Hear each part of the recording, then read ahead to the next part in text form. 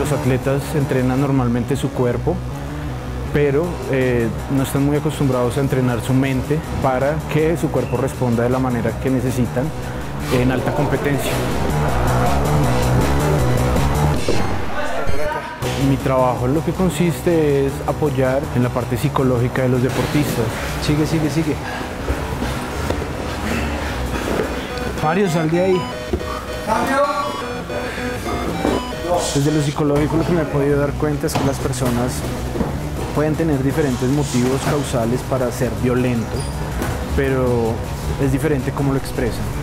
Qué mejor que poderlo encaminar para que no sea frente al prójimo, porque me cerró en la calle o porque se coló en la fila. Te aseguro que ninguna de estas personas los vas a ver peleando en la calle. Yo inicié este deporte porque empecé practicándolo ya hace unos cinco años eh, y pues dio con mi gusto también por la psicología y como que empató. Creamos con unos casi colegas psicólogos eh, la empresa Silver Fox, que está, está desarrollada para ser una empresa de, psicología pero basada en el desempeño. Entonces el pueblo me ha apoyado en todo el proyecto que he venido desarrollando, puesto que esta propuesta es nueva acá en Colombia, realmente la psicología deportiva no es tan común.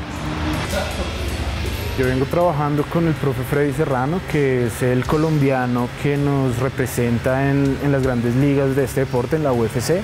Nosotros fuimos a Corea con el profe Freddy, tuvimos la oportunidad de conocer muchos, muchas personas, muchos peleadores, la gente que estaba en nuestro camerino terminó haciendo el trabajo que estábamos haciendo de visualización mental y todo con nosotros.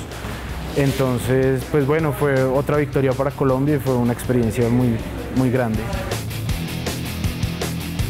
Yo los invito a que, a que primero encuentren algo que les apasione y vean cómo se puede, cómo se puede encontrar la manera de, de poner un grano de arena para, para hacer crecer eso que les apasiona y, y, unirlo con lo que sea. O sea, cualquier profesión puede unirse con cualquier pasión.